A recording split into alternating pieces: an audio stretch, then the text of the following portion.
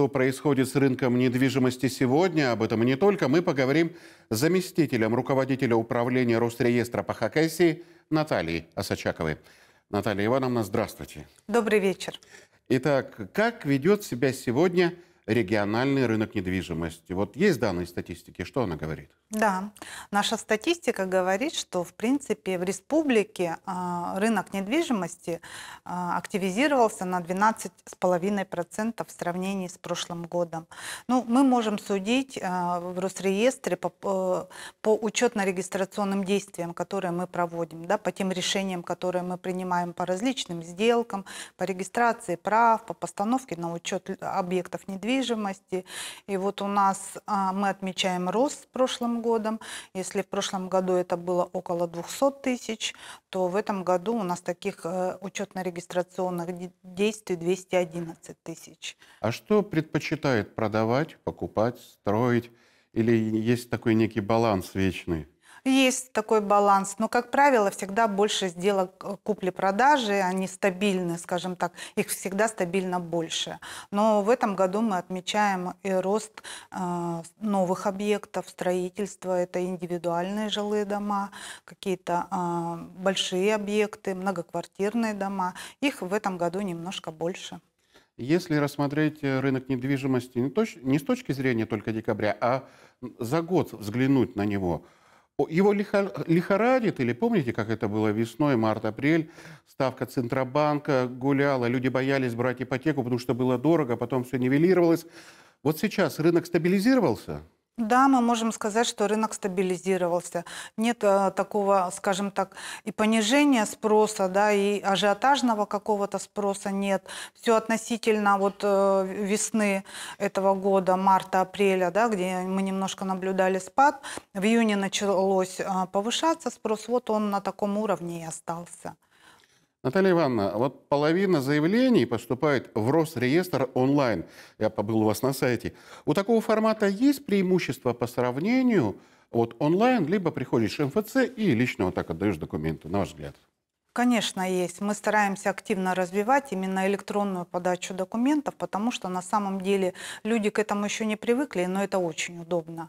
Вот мы за прошлый год регистрировали пока э, около 40% таких электронных сделок, то в этом году уже 47%. То есть уже приближаемся к половинам да, наших а, всех сделок в электронном виде. Ну, во-первых, это быстрее. Мы такие сделки регистрируем за один рабочий день. То есть вы, можно можно сказать, сегодня подали, завтра вы самое позднее получили уже свои документы. Но Они мы говорим о продаже либо покупке квартиры. Как правило, это львиная доля сделок у вас же, да, проходит? Да, и это купля-продажа, это постановка на учет. Если вы создали какой-то новый объект, да, дом построили или гараж, вы можете тоже это все подать в электронном виде. А насколько эта процедура забюрокрачена? Она вот э, как раз сейчас э, гораздо упрощается. Больше минимум пакетов документов нужно подавать, потому что, как правило, если вы построили дом, вы согласуете строительство это с администрацией того населенного пункта, где находится вам дом, и они за вас могут подать эти э, документы к нам. Вам уже, по сути, ходить никуда не надо. Ну, еще один, да, а, да, отмечу важный такой э, фактор, да, это, ну, опять же, на 30% мы знаем, что все электронные э, госпошлины по электронным документам, это и через сайт госуслуги, э, госпошлины дешевле. Это тоже очень Но это удобно. очень важно, учитывая, да. если ты купил квартиру, да, ты и так без денег. Еще одна любопытная цифра. 75% ипотечных сделок в Хакасии регистрируются тоже онлайн. В данном случае, если мы говорили, э, у заявителя есть какая-то привилегия, вот как госпошлина, ну, привилегия, как правило, какая по ипотечным сделкам? Все оформляется в одном месте. Это, как правило, кредитная организация, банк, да, в котором э, берется ипотечный кредит. Они оформляют все документы на это и сами подают к нам документы. То есть заявитель, опять же, никуда специально не ходит, чтобы, допустим, у нас а, важным моментом является наличие электронной подписи. Тут банк сам готовит, изготавливает эту подпись. По сути, все. Человек один раз обратился в банк за ипотечным кредитом. Его, допустим, одобрили. Его одобрили, и, и там же они оформляют.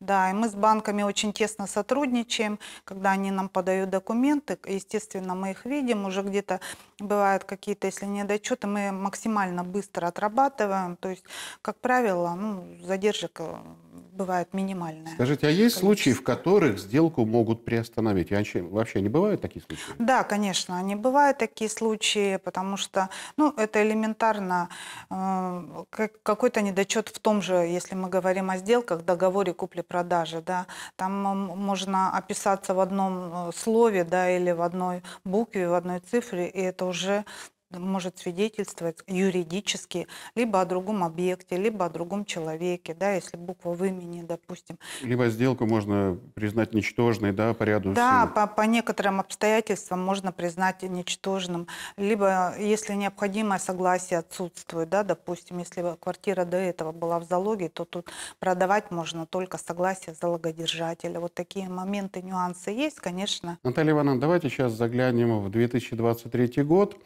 У нас декабрь, ну, допустим, на дворе 23 год, 1 марта. Почему эта дата? С 1 марта, простите, с 1 марта станет невозможно получить выписку из Единого государственного реестра недвижимости без согласия владельца имущества. Вот почему Росреестр пошел на такое ужесточение? Да, есть такой федеральный закон, он, скажем так, очень был нужен и необходим. Он действительно немножко затрудняет э, условия уже покупки и продажи жилья, потому что уже не получишь просто так сведения о владельце той квартиры, которую желаешь купить.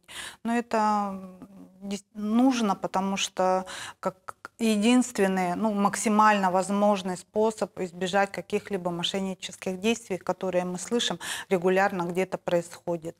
И закрытие таких данных, то есть это фамилия, имя, отчество, персональные данные, дата рождения, да, которые с 1 марта не будут э, отображаться в выписках из Единого государственного реестра недвижимости, если э, собственник квартиры не дал такое согласие.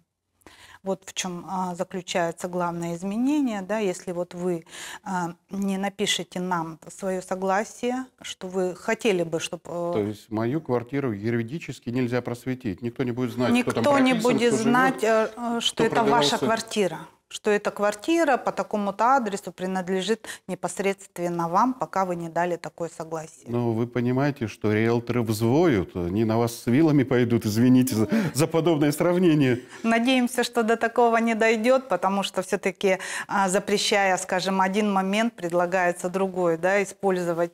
Ну, в данном случае прорабатывается вопрос, чтобы такое согласие было достаточно легко дать и получить а, через портал единых государственных государственных услуг.